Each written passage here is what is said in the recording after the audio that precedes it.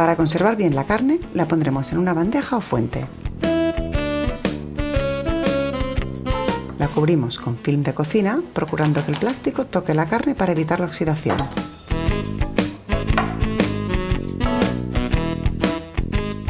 Y la guardaremos en la nevera entre 2 y 3 días.